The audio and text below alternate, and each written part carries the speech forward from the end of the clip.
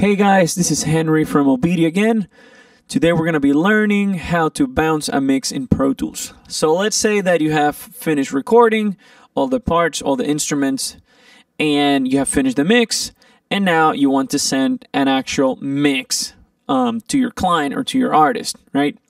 And when I say mix, I'm talking about a stereo audio file that contains the whole song. So they can basically put that file in their phones or their laptops, maybe their car, and just press play, and they'll should they should be able to listen to um, the whole stereo mix. Okay.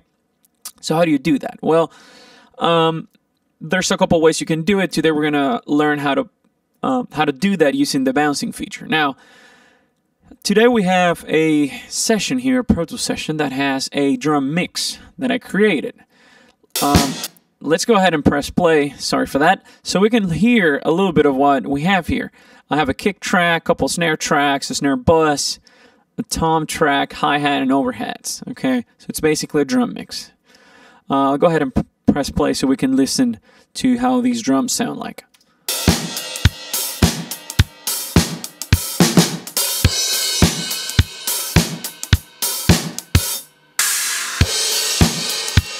Okay, so as you could hear, it's basically a drum mix. So, how do we bounce this to stereo, to a, to a stereo mix? Well, if we go File, Bounce to, Disk,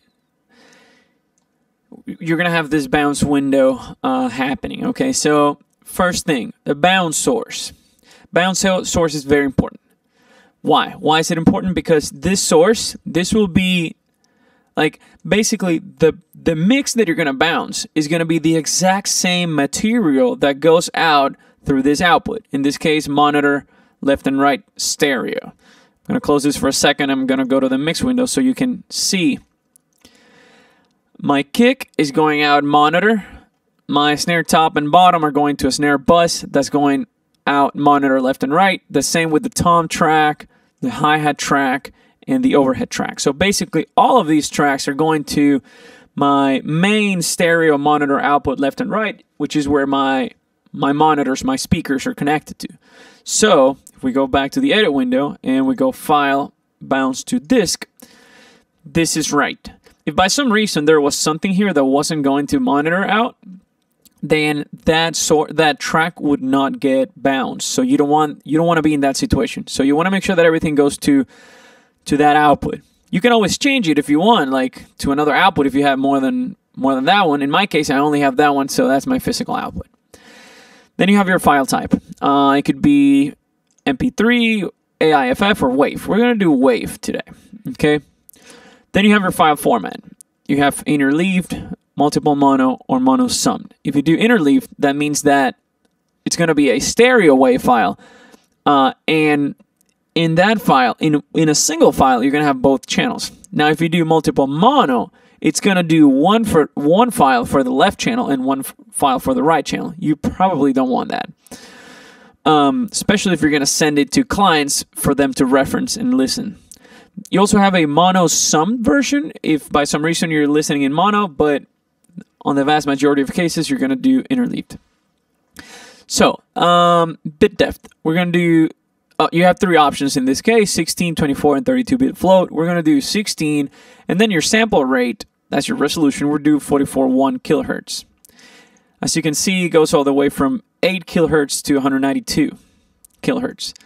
We're going to do 44.1 kilohertz at 16 bit because this is what, what we would call uh, the Redbook audio CD format. It's the audio CD format. So basically, if you bounce a file in this format and then you burn it to a CD, you'll be able to play it in pretty much any stereo system that reads CDs. You can also add it to the iTunes library. I'm not going to do that. And then you have here your name. I'm going to delete whatever there was there and I'm going to type my mix. Then you have your directory. Where do you want this new file to be located? Well, I'm going to choose my desktop. Okay.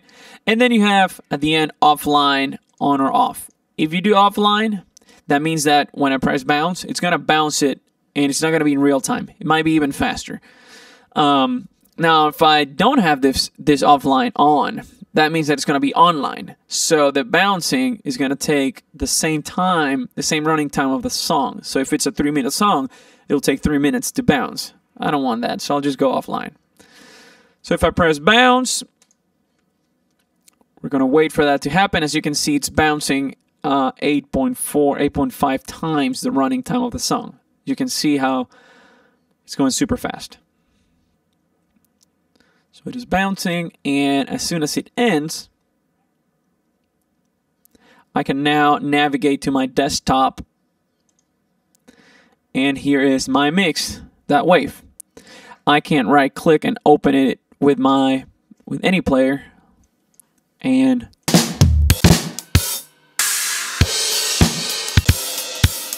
there it is. That's my mix. Now, this file you can send to your clients or your artist, and that's going to be their mix that you just bounce.